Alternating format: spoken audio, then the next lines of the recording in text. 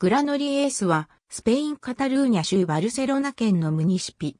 バルセロナの北約 26km の距離にある。バルセロナの北に位置するバリエス・ウリアムタル郡の郡都である。グラノリエースは、バルセロナ都市圏に含まれるが、カノベーレアス、フランケサスダルバリエスなどの近隣の小都市とともに、地域都市圏を形成し、その中心都市として機能している。主な産業は製造業とサービス業である。グラノリエースはカタルーニャ沿岸盆地のなだらかな平地に位置する。ローマ時代の廃墟跡が市内には確認されているが、グラノリエースの名前が歴史に登場したのは中世に入ってからである。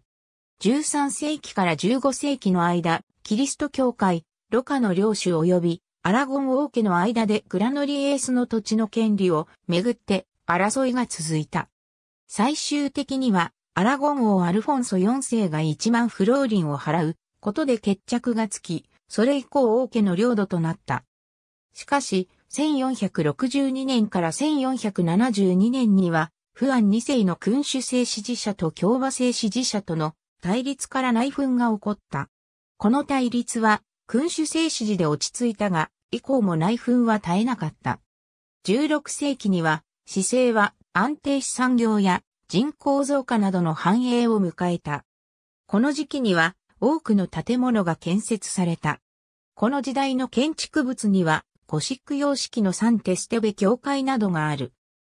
しかし、この繁栄期も長くは続かず、1640年から1659年のカタルーニャ反乱、1808年から1814年のナポレオン・ボナパルト軍によるスペイン独立戦争、さらには1875年のカルリスタ戦争など、再び紛争が続いた。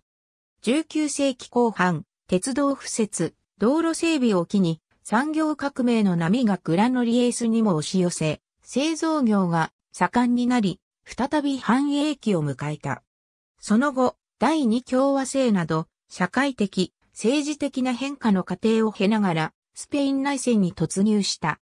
内戦による被害は多大で、特に1938年5月31日のドイツ・イタリア軍による空爆は多くの死者と町の破壊をもたらした。内戦復興後は移民流入により都市が発展した。その一方、1960年代の戦域期には他産業への転換が進んだ。